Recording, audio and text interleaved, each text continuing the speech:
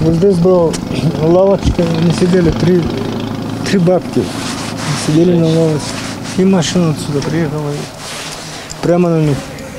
Илья до сих пор не может осознать, что его мамы Ирины нет в живых. Неделю назад отмечали ее 75-летие. Была здоровой и активной. Накануне с двумя давними подругами вышла погреться на последнем осеннем солнце. Расположились на лавочке возле забора. Внезапно из-за угла на улицу выскочил автомобиль. Сначала его занесло на встречную полосу. Чтобы не врезаться в столб, водитель вывернул руль. Машина стала на два правых колеса и понеслась в сторону скамейки, на которой сидели бабушки. Секунда, и их буквально перемололо колесами. Две женщины погибли на месте.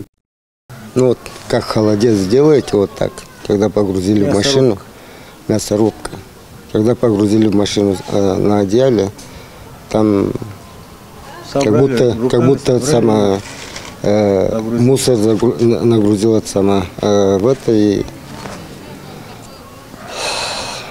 Выжить удалось только Ольге Димовой, но и она скончалась на операционном столе через какой-то час после аварии. Остался муж, с которым прожили вместе больше полувека, растерянный и несчастный.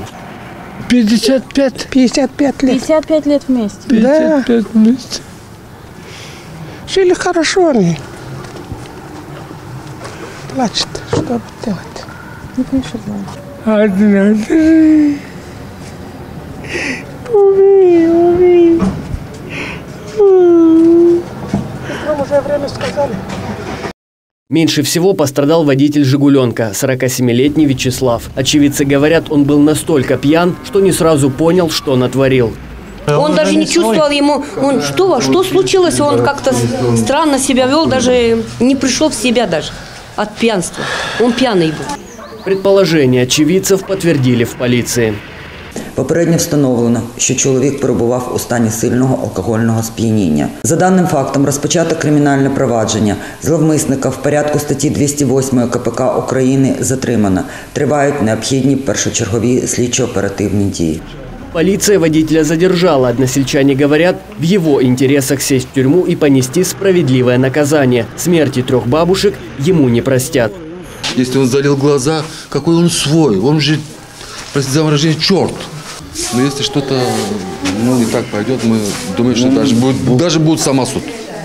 Була б, Как это не громко була б звучит. возможность Трех подруг, которые много лет прожили на одной улице, похоронят в Виноградовке в один день. Юлиан Аксенов, Анастасия Зинкевич, Сергей Герасименко, телеканал «Репортер».